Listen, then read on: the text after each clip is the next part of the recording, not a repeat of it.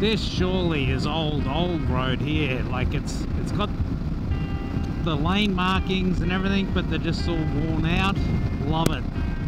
So cool. On day two, riding the old Pacific Highway from Gold Coast to Sydney, the early start didn't go as planned. Day is it? Thursday. I thought it was Wednesday for a second. Day two of the trip back. Day six altogether.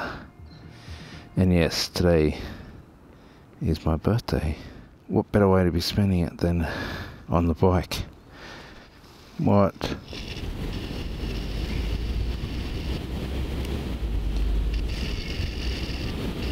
No.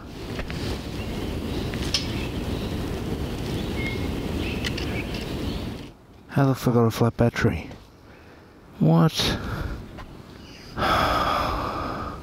This is not how I want to start the day, and I don't think I'm even going to have enough power in it to clutch it.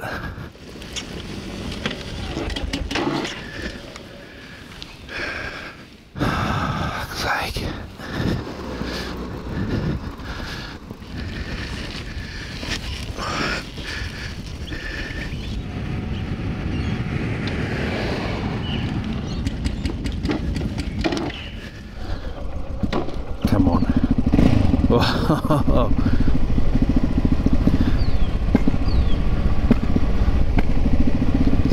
on enough power to run the ignition. A.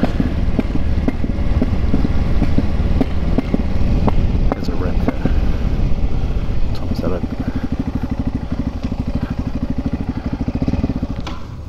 Yep, well, I don't even have enough power to run the. No. So his battery completely died overnight somehow. Nothing was running. Ugh. 8.30. I never really worked out what went wrong. There was no sign of a ground or short, and the new battery has been working perfect ever since. At least I could have a birthday breakfast while I waited for the Repco to open, and it was pretty bloody good actually.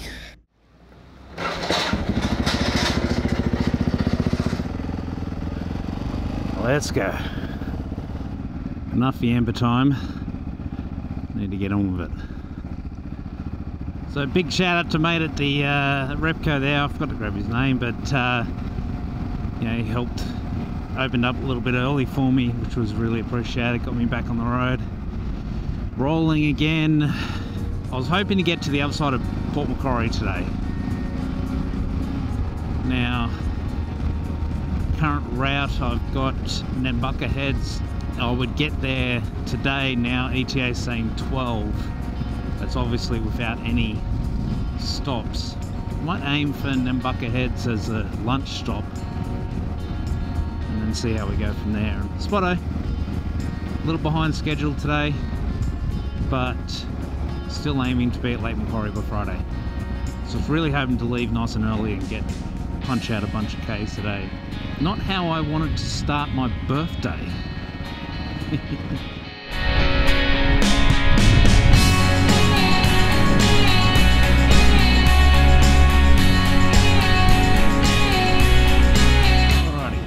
Back on track.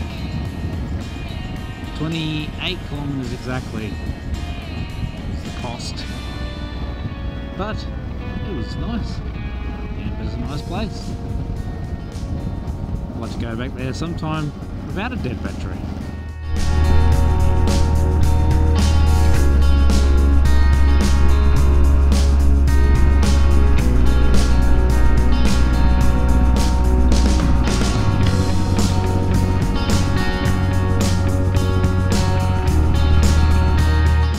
Little town. It's actually um, bigger than it looks on the map.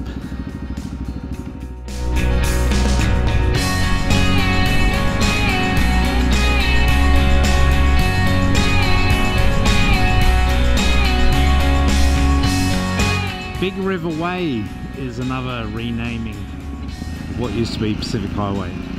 This place I remember stopping at, had various names across the years. Not sure if it still seems to be running. It was shut down for a period, but seems to be back up again. There's the freeway there. Alright. Grafton. Next stop.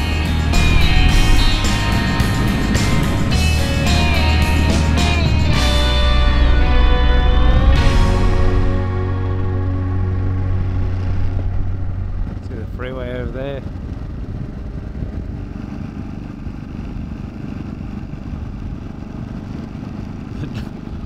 Plane parked in the driveway.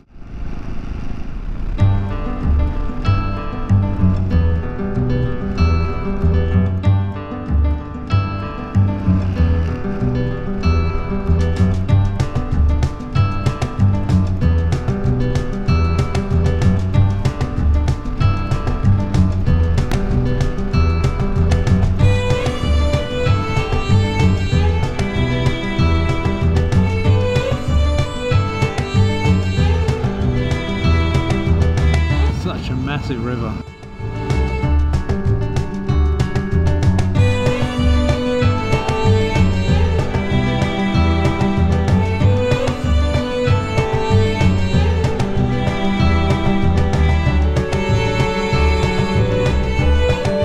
It's been like, like this, even the width of the road. When you're thinking about all those buses and trucks that are coming through here with that sort of size, you're just funneling so much volume of traffic through a place like this, little towns. It's just not plausible today. You know? But you know, back then we didn't have things like Amazon Prime and overnight delivery of anything anywhere. You know, you had to wait for things and everything took longer because there was only so much you could transport fascinated by some of the trees out here. They, they must be so old, like they're just fascinating. Huge. And they're everywhere.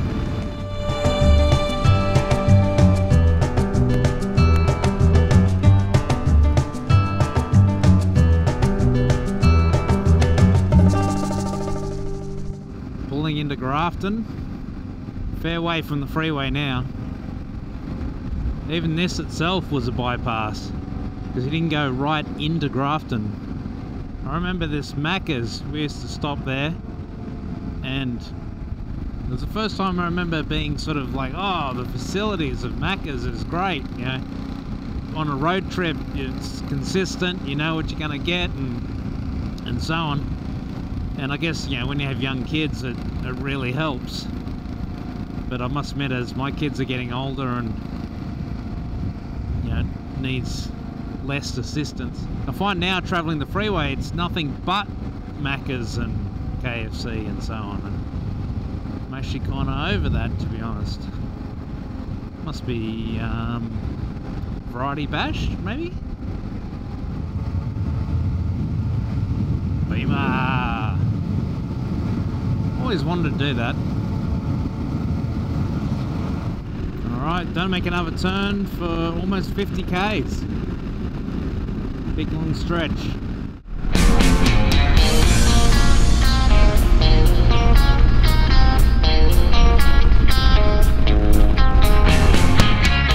This was the thing about the old freeways. You got a caught behind someone, you just had to wait. You just had to be patient. The problem was some people weren't. That's where we had accidents. It does make me wonder when you see the impatience that we have on the roads today and how that would play out on these roads. You know, would it be disastrous or would it actually teach people to be more patient? Perhaps in the past, people were more patient because it was necessary.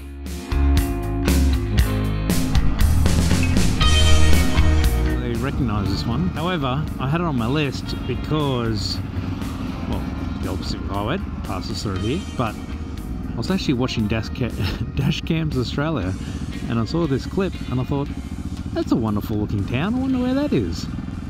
That's this place. Normally you would go past this place, but let's just have a look. Need a quick little break anyway. Caravan Park.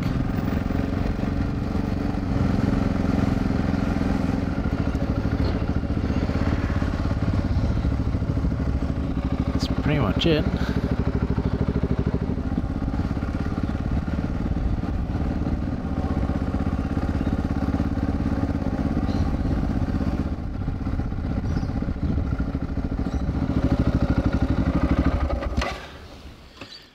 So I've been running for a good couple of hours now and just stop for a quick break.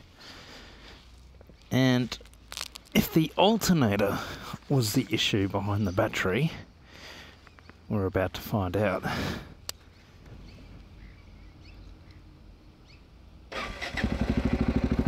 Beautiful. I think it was the battery had just had its day. Died of natural causes. Alright. Nambucca Heads was my one-stop strategy. So by rights, if I get to it halfway through the second day, if I'm doing three days, then we should be on track. Taken way longer than I expected, I have to admit. It's just amazing how much that's stopping and starting constantly. Speed limits up and down, up and down, 100 down to 50, back again. Oh mate, hiding bushes there. Ah, I remember that. Again, renaming.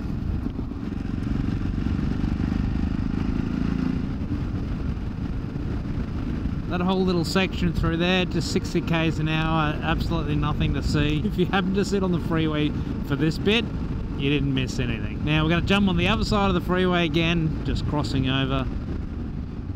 The old is running parallel to the new.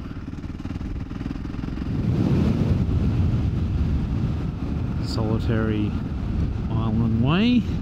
And this kind of runs pretty much all the way along to Port Macquarie, Coffs Harbour, Coffs Harbour. Always get those two mixed up.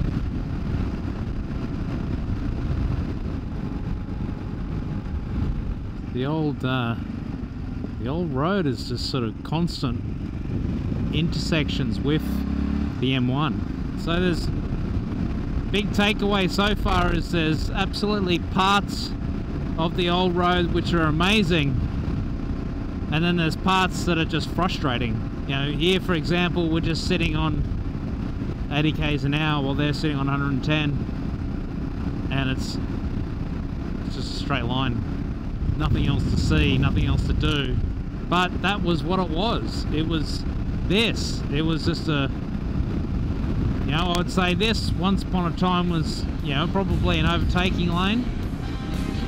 Looks like there's enough room for that. That was what he looked forward to, was overtaking lanes.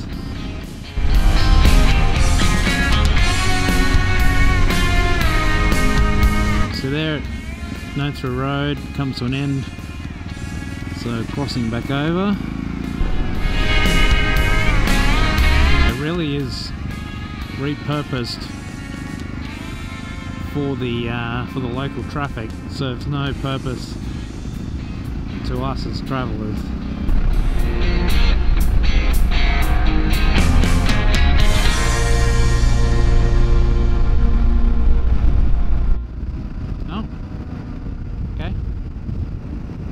Freeway, I guess. Getting close to Coffs. Now, if I had more time, I'd probably wouldn't mind scoping out all the roads around here. There's probably some amazing roads. You could probably spend a couple of days exploring around here. But as you can see, they're starting. This is where the freeway is going to start to bypass Coffs Look at that! Just look at the scale of that. It's in, insane. This is the one and only part left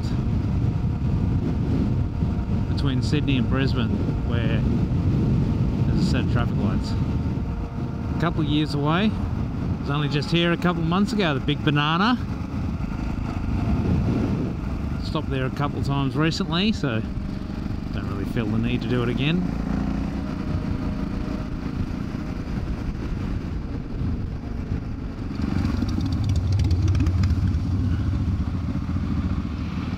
Been a while since I filtered.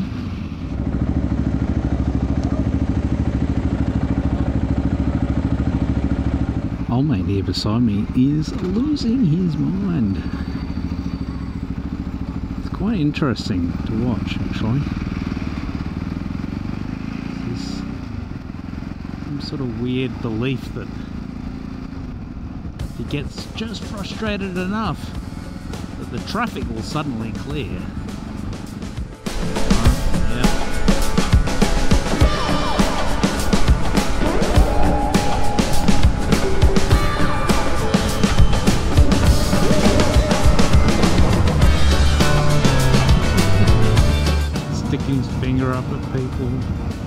Watch, like, that's the thing, you get to the next set of lights and just roll up beside him again.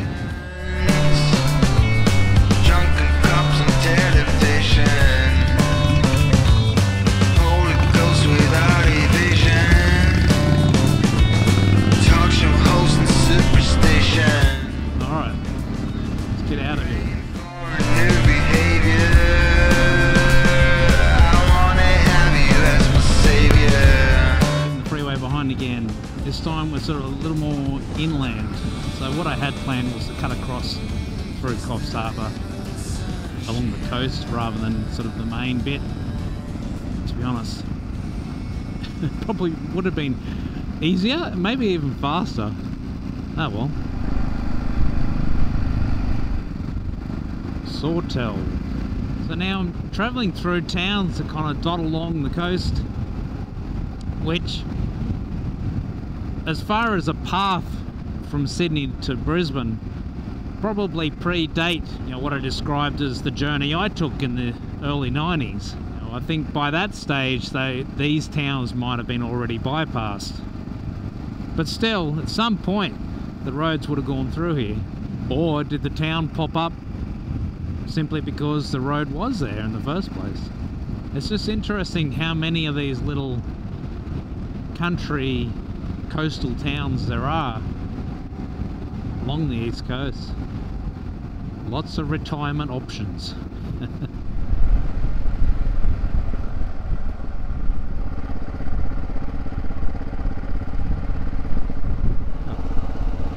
A stunning little town.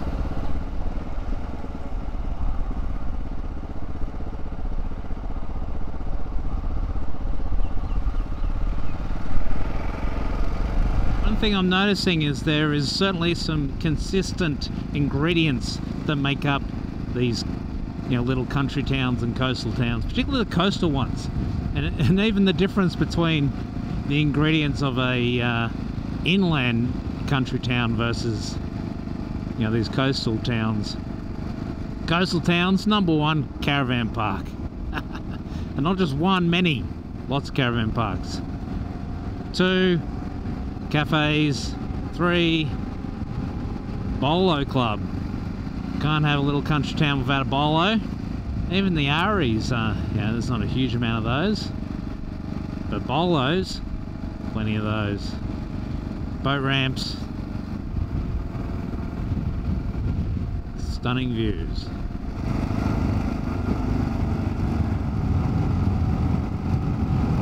Crossing over the freeway once again, heading towards Bonville. Pine Creek Way. I noticed that all these roads, like back up north, uh, the roads were much faster. You know, there's there was a bunch of still road, you know, roads that were still 100 kilometers an hour, whereas these have all been reduced to 60, and this is the first 80 I've seen. It really slows it down. Every time someone makes a turn, it slows the traffic down.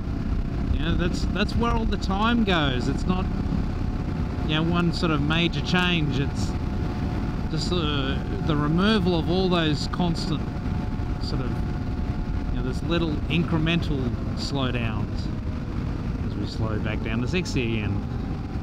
This is actually getting frustrating.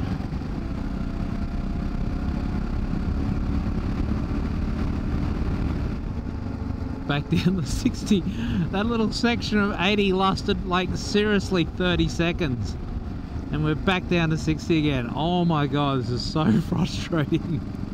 if there's anything I've taken out of the last few hours, it's just an appreciation for the consistency of the freeway.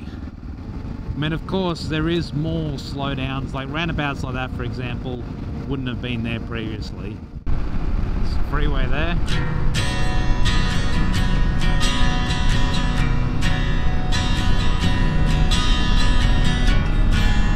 See parts of the the old there going off into the bush.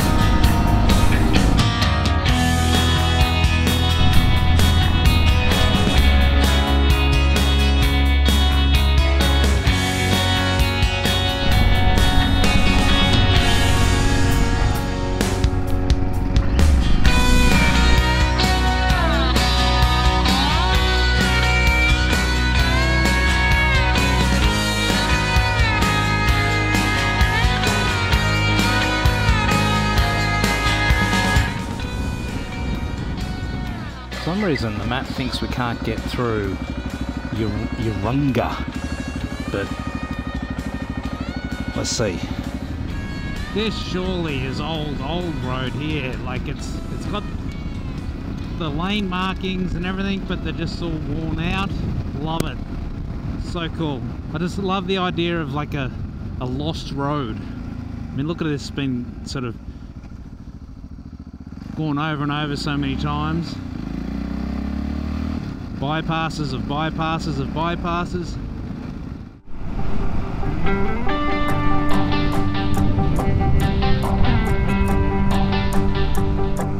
Ah, I remember this spot.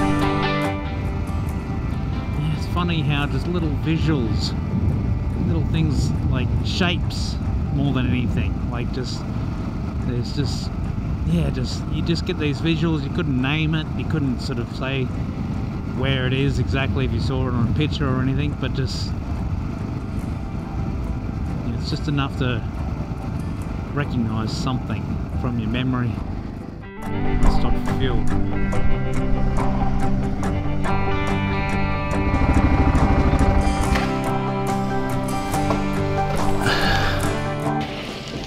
Hey, how are ya? Uh, Sydney, heading back to Sydney. There's a couple of yous. There must have been a big rally something, was it? Yeah, we did a big trip from um, Sydney to the Gold Coast. Oh, okay. Yeah. Back way? What's that? The back way? Yeah, back way through all the dirt roads and yeah. So there's probably a few of us heading back the same way. Enjoy it, man. Yeah, you too.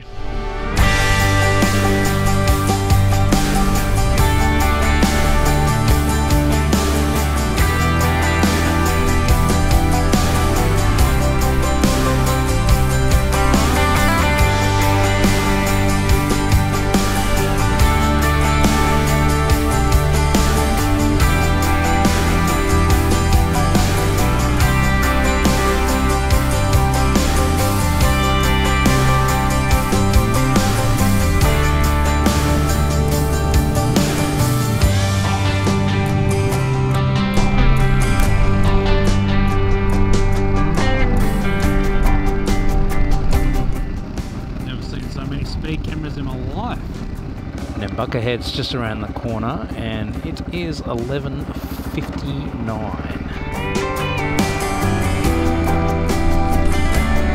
We're heading to Nambucca Heads. Going to go through there. And this is even leaving the old freeway to take a, a link road called Link Road.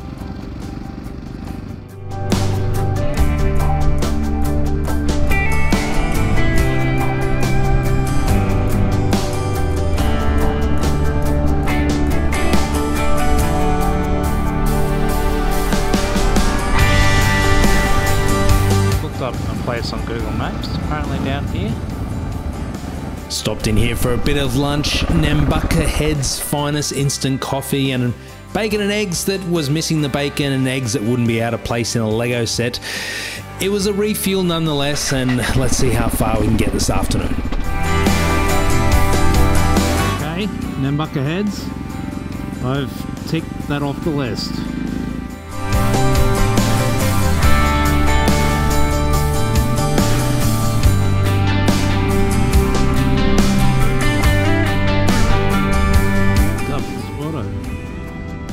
Stop, Kempsey. Uh, via Macksville. Spotto. It's a speed camera like every five minutes.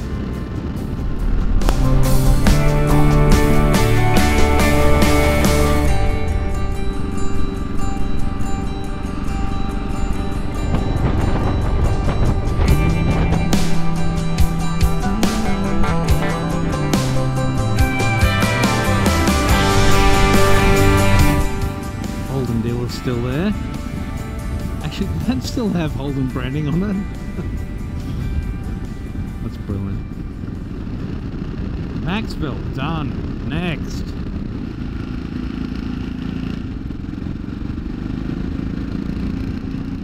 I'm actually jumping back on the freeway for a little bit. I'm so bored.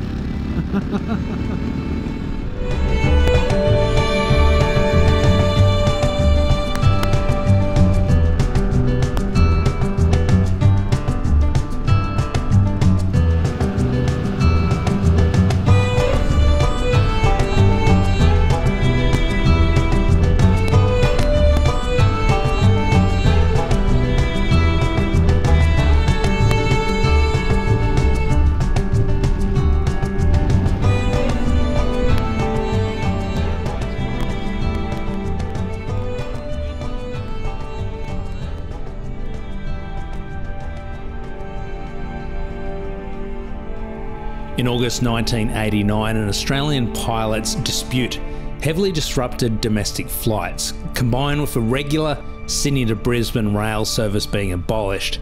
This resulted in a massive increase of coaches on the Pacific Highway. And then in October, the Grafton bus crash became the worst incident ever on Australian roads. It was a tragedy unparalleled on Australian roads. Just before dawn, the heavily laden semi collided head on with the coach on a straight stretch just north of Grafton. Still, it only held that gruesome title until December of the same year when two buses collided near Kempsey. This is the sickening sight rescuers arrived to find on the Pacific Highway at 3.30 this morning. Two buses locked together in a head-on collision. Tonight, the town of Kempsey is rallying around the survivors with offers of blood donations and accommodations for victims' relatives who left Sydney on a special charter flight this afternoon.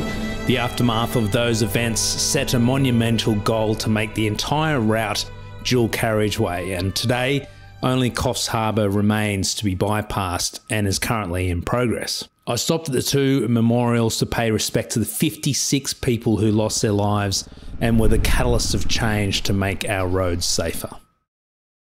Only took about 30 years to complete. But, yeah, if there's anything I got from this trip, appreciation that uh, we can now travel from Sydney to Brisbane, Gold Coast, with reasonable ease, safely, as safe as it can be. Check out Sharaf's video on his civil engineering building beautiful channel, where he covers this off in much greater detail.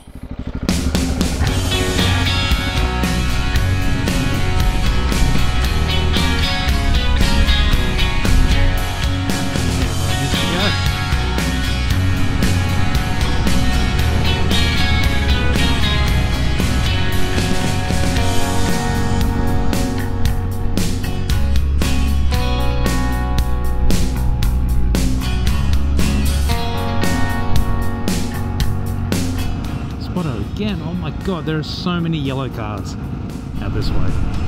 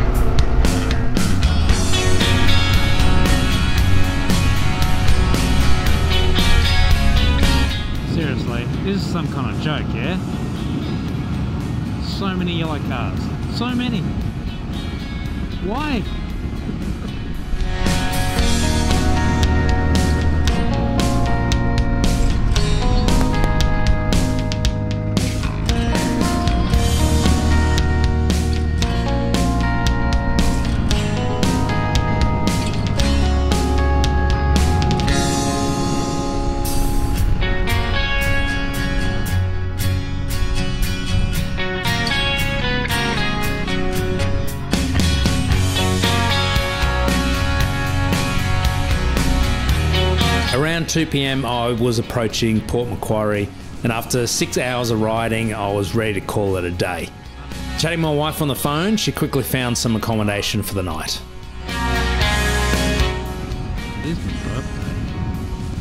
I'll tell you what, like, you know, as much as it's been sort of fun, um, not sort of having a plan, I don't think I like it. yeah, it gets towards the afternoon, that unknown just starts like, oh, I really prefer to know. And I prefer to have something and aim for it. You know, know that sort of, oh, I need to get here by that time. It's not far from the um, ice cream shop. Alrighty, see ya. Bye.